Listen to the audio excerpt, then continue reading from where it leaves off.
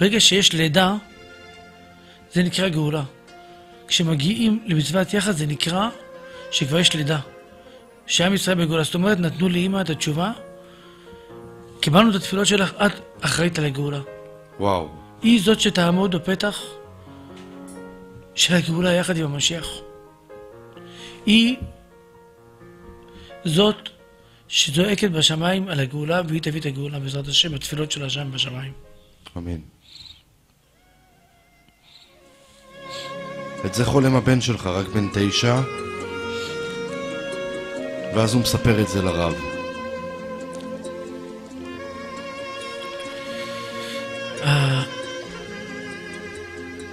המחשבה שלי לפעמים, שאימא זכתה להתאמן במקום הכי קרוב לעם ישראל. היא נטמנה בבית העלמין בסנהדריה.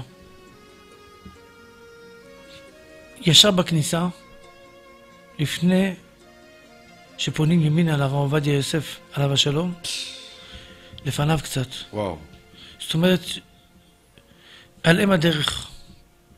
אתה יודע שהזוהר הקדוש כותב שרחל אימנו נטמנה בדרך בשביל שכל אחד ואחד מעם ישראל, כשיש לו צער, שיבוא להתפלל על הקבע של רחל, הוא יראה ישועה. אמא הייתה אימא של עם ישראל. היא תמיד הייתה בוכה. היא תמיד הייתה מתפללת על כל אחד. הייתה שואלת על כל אחד. הציפייה שלה לגאולה זה היה מדהים. היא הייתה אומרת לי, תשמע, סיפרו שיש כוכב שמגיע ויש זה, תדע לך, כל הסימנים מראים שהגאולה בפתח.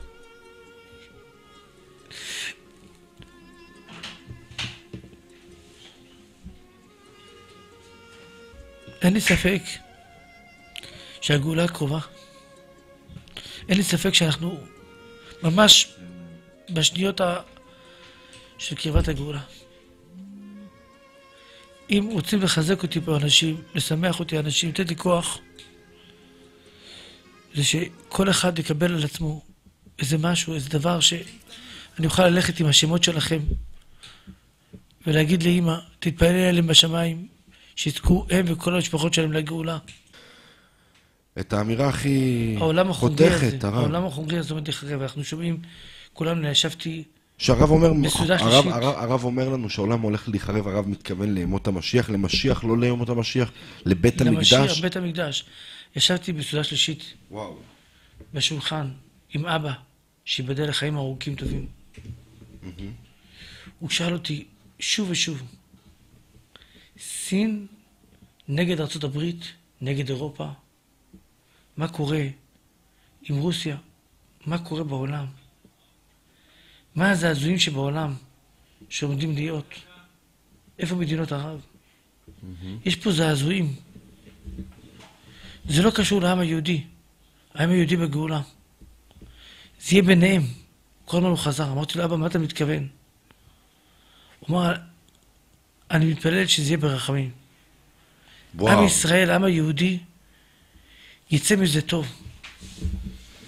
הרב, אתה אומר לי פה דברים שאני אגיד לרב מה. אנחנו בחודשים האחרונים עשינו לא מעט תוכניות עם רבנים שהגיעו בשם ל"ו צדיקים וצדיקים נסתרים וכולי, שדיברו על ימות המשיח.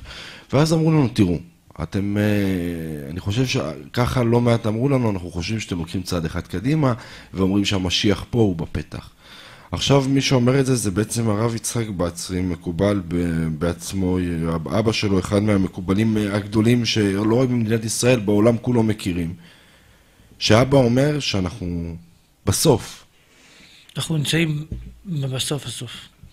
אנחנו ממש נמצאים, ואיך יתפסו אותנו? הרב החילוני הקיצוני, היהודי הקיצוני, יכול לשוב? יש לו זמן? יש מהפך עצום בתוך הנשמות של בני אדם. זה לא? יאומן. יש תשובה עצומה. יש התעוררות של תשובה. השאלה שלי, הרב, אם, אם החילוני היהודי. ששומע אותנו, יש לו זמן לחזור בתשובה בשביל לזכות להיות בתקופה הזו, ב, בימים ההם של ימי המשיח, ימות המשיח. זה, זה מה שהצדיקים עובדים עכשיו. שיהיה? שכולם, כולם ייכנסו לזה, רוצים. אנחנו פעלים על זה, וזה מה שאנחנו... פה השליחות שלנו פה כרגע, להמשיך לדחוף את זה, שזה, שלא זה השניות האחרונות. אתה יודע, אני וואו. כבר כל הזמן מהדהד לי באוזן על תקיעת שופר. שסיפר לי הרב של כרמיאל, מהמם. שהוא שומע את התקיעות של השופר כבר כמה זמן. התקיעות של השופר מהדהדות בהרבה מקומות. שופרו של משיח. יש כבר את הכל.